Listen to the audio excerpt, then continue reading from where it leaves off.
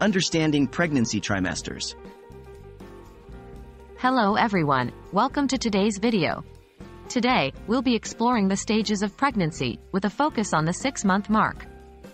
It's a common question. Is the six-month period considered the second or third trimester? Let's find out. How is pregnancy divided? Pregnancy is typically divided into three trimesters, each spanning roughly three months. Each trimester comes with its own set of developments and changes for both the mother and the baby.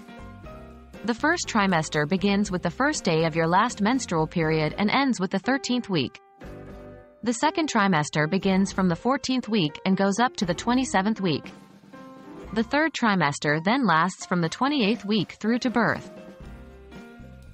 What trimester is the six-month mark? So, coming back to our question, the six-month mark falls within the second trimester.